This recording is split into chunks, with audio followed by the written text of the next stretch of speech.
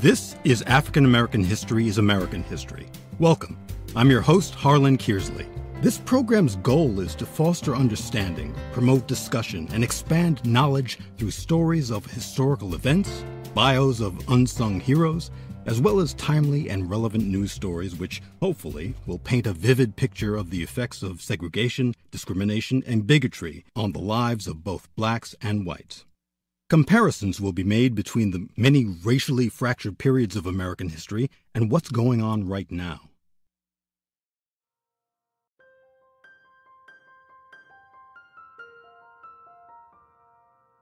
As the world's population ages, the number of people suffering from dementia is expected to nearly double every 20 years.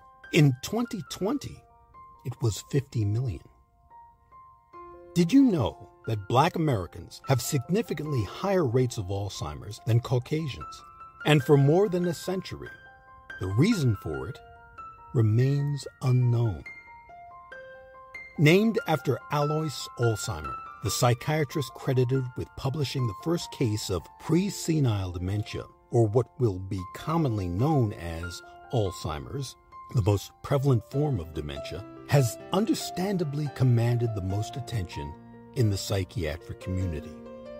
However, the history of Alzheimer's research tends to leave out one very important person Dr. Solomon Carter Fuller, a pioneering neurologist, psychiatrist, pathologist, and professor. Not only was Dr. Fuller the first black psychiatrist in the United States, but he was the person who, in the very early stages of Alzheimer's research, did the most to reveal the true nature of the disease. This is his story.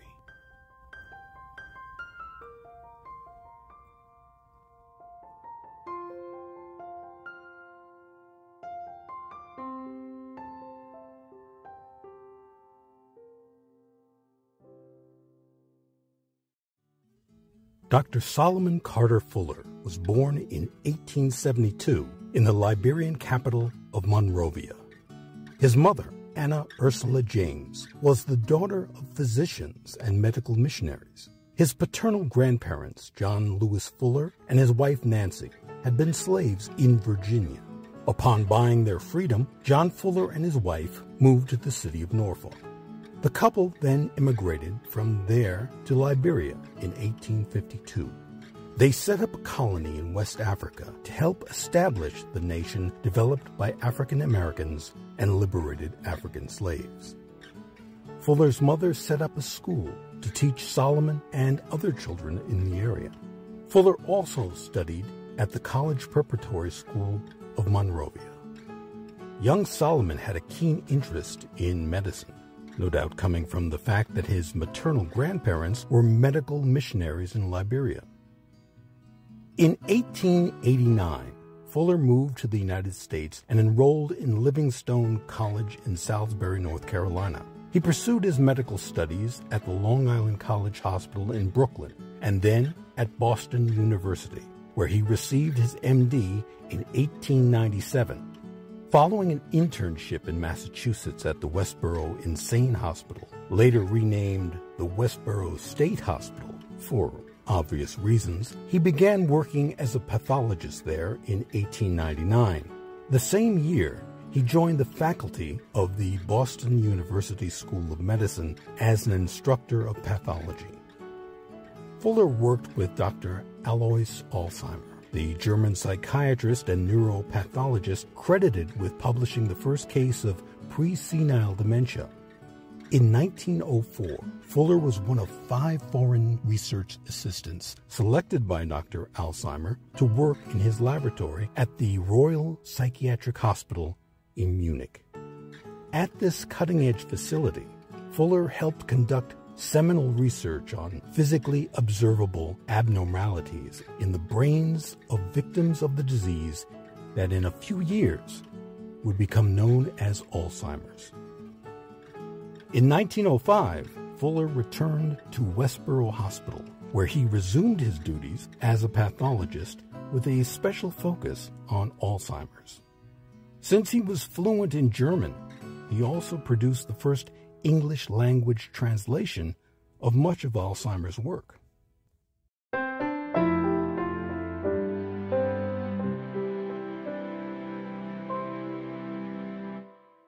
This is African American History is American History.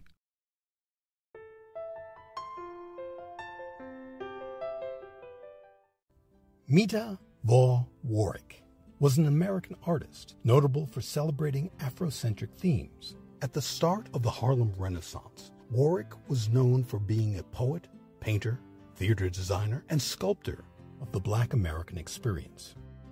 Born to a black middle class family in Philadelphia on June 9, 1877, Meta Vaux Warrick attended the Pennsylvania Museum School of Industrial Arts in 1897. In 1899, she left the U.S. to study in Paris, where she met and became the protege of French sculptor Auguste Rodin, famous for his piece, The Thinker. Rodin was so impressed with her work that he pronounced her, quote, a born artist. It was also in Paris that she met American sociologist W.E.B. Du Bois, who became a lifelong friend and confidant. He encouraged Warrick to draw from American and African American themes in her work. By the turn of the 20th century, she had achieved a reputation as a well known sculptor in Paris. Warrick has been described as, quote, one of the most imaginative black artists of her generation. She returned to the United States in 1903 and met Dr. Solomon Carter Fuller in 1907. In 1909, they were married. The couple settled in Framingham, Massachusetts, where they were one of the first black families in town. Prominent African American people visited their house often. Even the Prince of Siam stopped by. Meta Vaux Warrick Fuller continued to create works of art against the norms of the day and unfortunately the objections of her husband that she should settle down and focus only on being a housewife, especially after she and Solomon had three children. However, Meta Warrick Fuller did not bow to the norms of the day, nor to her husband's expectations of a wife and mother. She continued her art career. Within the community, Warrick Fuller helped establish and was involved in the lighting of productions put on by the Framingham Dramatic Society. She was an active member of the St. Andrew's Episcopal Church, where she directed and costumed their plays and pageants.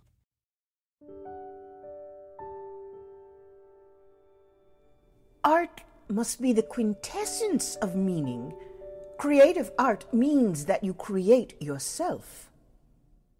Meta Vaux Warrick Fuller in a speech given at Livingstone College in 1950.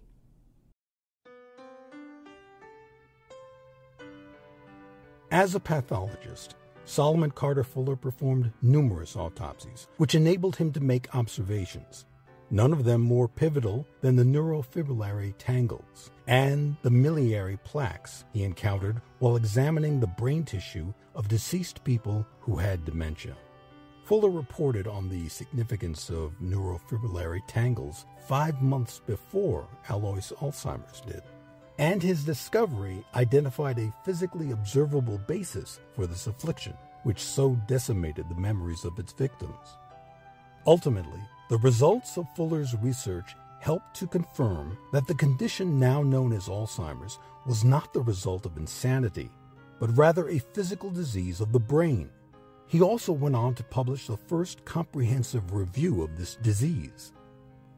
As a leading Alzheimer's expert, Fuller was invited to speak at the historic 1909 Clark University Conference in Worcester, Massachusetts, which drew such guests as nuclear physicist Ernest Rutherford and psychoanalytical gurus Carl Jung and Sigmund Freud on his only visit to America.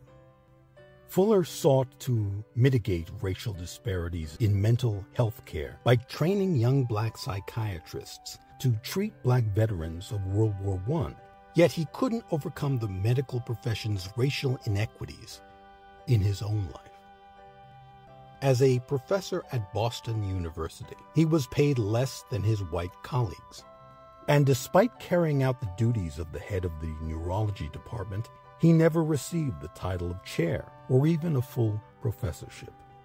He once remarked, With the sort of work that I have done, I might have gone farther and reached a higher plane had it not been for the color of my skin.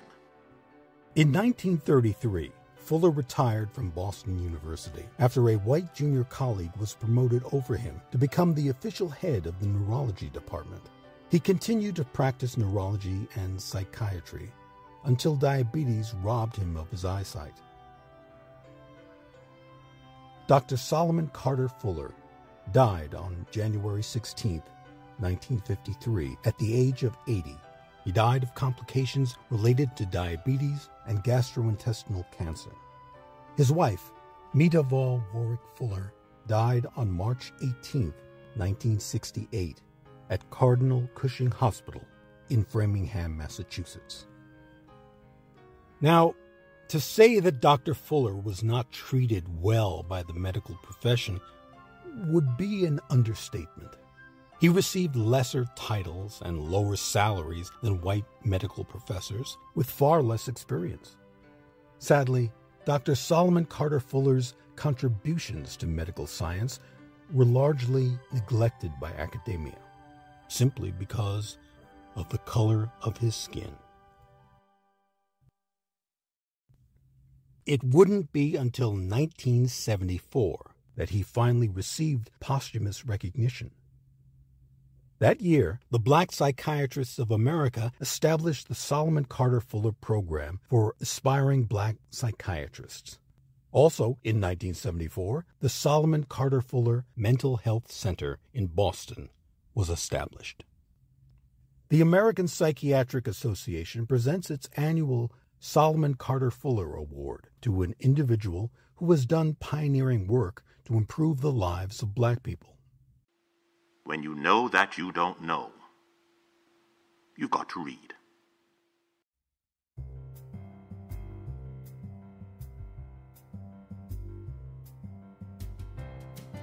This has been African American History is American History. The episode you've been listening to, The Dr. Solomon Carter Fuller Story, was written and directed by Harlin Kearsley.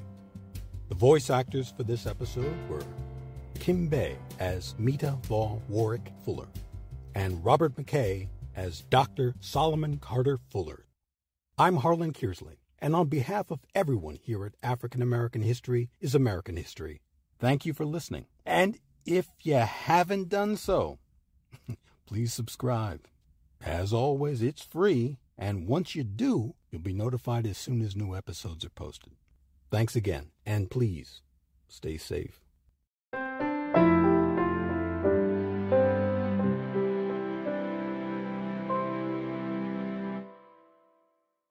African American History is American History. Copyright H.C. Kearsley, 2022.